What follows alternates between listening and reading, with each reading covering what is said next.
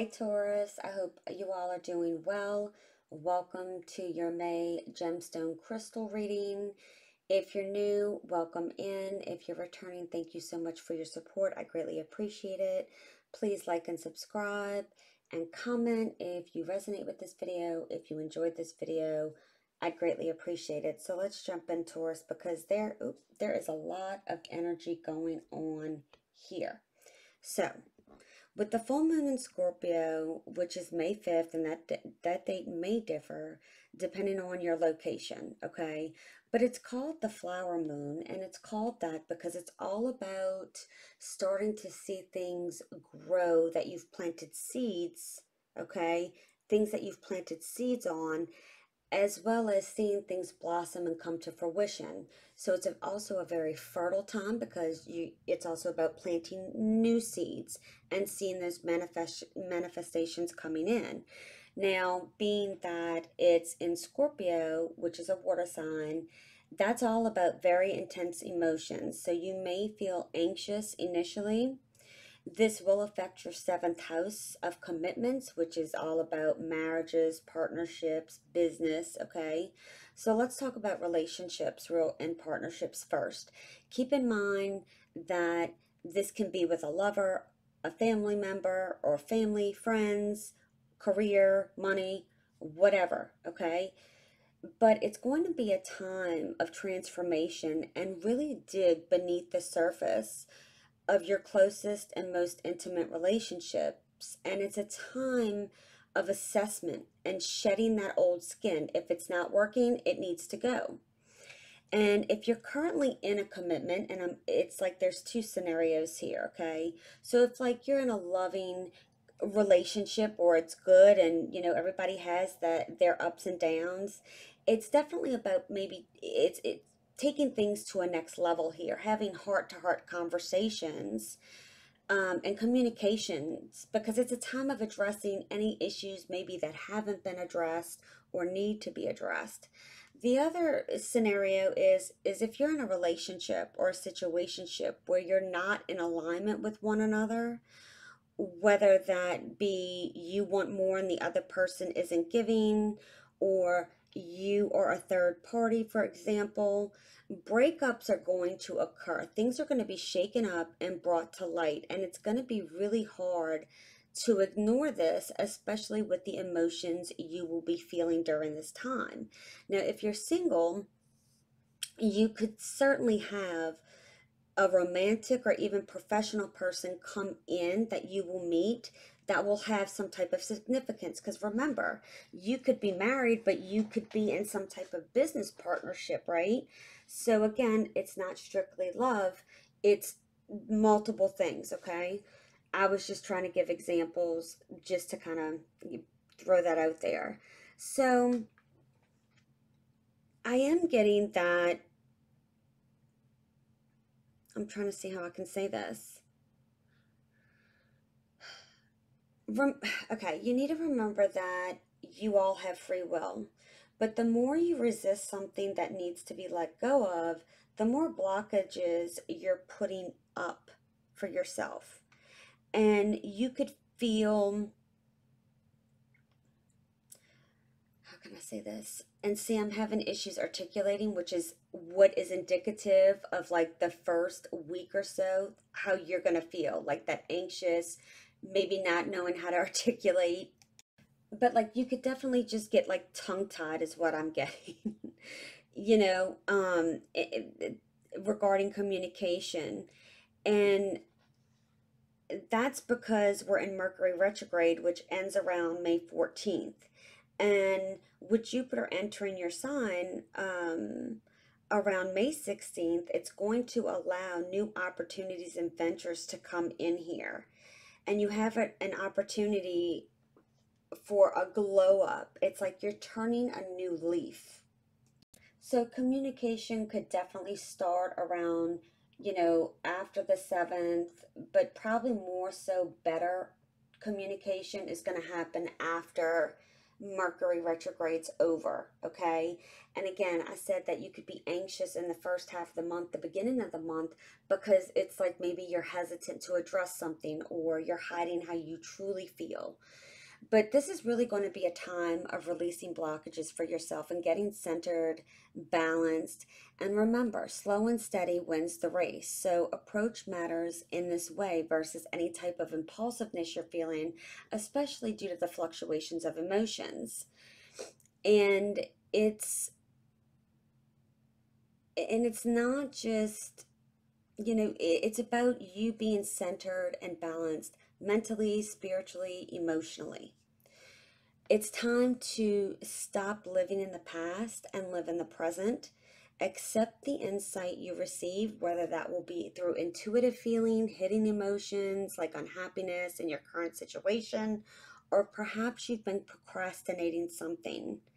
Many of you really need to seek self love and love yourself because you can't attract something loving to you.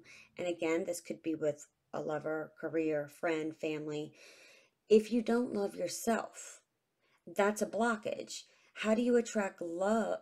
How do you attract love if you don't love yourself? Because some of you are looking to another person or situation to fill that void, and it's not going to happen, which is why you may be going through repetitive cycles as well as holding on to a person or situation that is not healthy. It's like you need to come to your own rescue here and not depend on someone else to do that for you because the only person you can depend on at the end of the day is you. It's time to realize like it's time to nourish yourself, not feel guilty about it.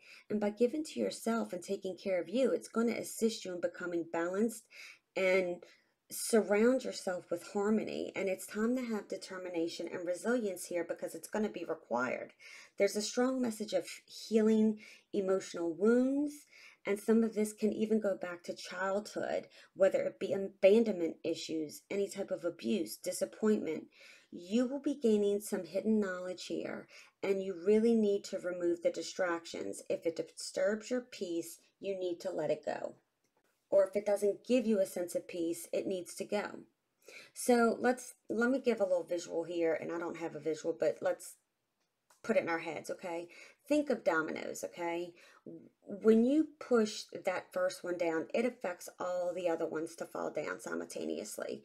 So by removing the distractions, the toxicity, the unhealthy behaviors, that starts the domino process like it's the first domino, right? And it then allows you to love more freely, which then you build your self confidence and the self esteem, and that starts going. And from there, it creates a continued flow that's going to allow you with an overflow of abundance in your life that leads to a ha- you know with happy and better connections affection you know having a being affectionate or having affection within a relationship if that's not something you're currently experiencing.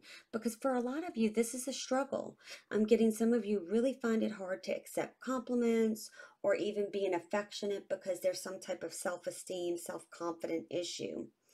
And you know healing is hard. It takes a lot of work and it, it requires forgiveness in a sense and it's part of healing and that doesn't mean you need to tell that person you forgive them. You can keep that to yourself but you need to also let it go. And it's also a, reminder like you know people say oh you need to you need to get healed. Okay well you never are 100% healed because if you think about it heal is derived derived from the word health. And health is pretty much measured on a scale right? So no one will ever be 100% healed per se because the scar is always going to be there. But it's about not dwelling on it, acknowledge it versus keeping it hidden and pushed down and and let it go. Um, some of you may be dealing with some health issues like autoimmune stomach issues, ulcers, and inflamed joints, I don't know why I'm getting teeth or, or maybe reproductive issues. And I'm going to say this is a very fertile time, but there is something associated with what you're putting in your body or something that's in excess that needs to like be detoxed and get rid of. And I got that for another sun and I don't know who, but anyway, there's some sense of like an excess of too much. You can, you know, work too much and that affect your stress level and affect things in your body. You can, um, you know, exercise too much and that's a negative effect on your body. So, from a business perspective, if if you're in the beauty industry, anything, you know, with self-care, aromatherapy, be clothing, counselors, attorney, helping others, you know, because when you think about the beauty industry or just things like, you know, self-care, aroma, that's all about injecting that self-love into yourself and taking care of you, right? As well as even therapists and attorneys, because if you get a divorce, then, you know, that's something you are now proceeding to do to better yourself and get yourself in a better place. But if that, you know, that's not the only business ventures because there are definitely new opportunities and new ventures coming in. If you look at the pink in these crystals and these gemstones, that, I mean, pink is a spiritual color of love, not red. People think red is love, and it's not. Pink is the spiritual color of, of love. And there is pink all over in these in these gemstones. And really, it's like needing to do things with love and genuine love, right? Um, and doing things that you do love and enjoy. And if you inject the love into what you do and have gratitude, or, you know, appreciation, and it's also about not just receiving, but also giving, then things are going to grow and blossom, leading to celebrations for you up through to the end of this year. If you're not happy in your job and you go, you know, you just go there for a paycheck and you know, you, you now's going to be the time that you need to assess this because you're not in a high vibration, you're in a low place and it's not good for you. You're not able to manifest things as quickly. It's it's a blockage, right? So, Taurus, I hope this helped you. I hope you guys have a beautiful day. Keep standing in your power, and I'll see you soon. Bye.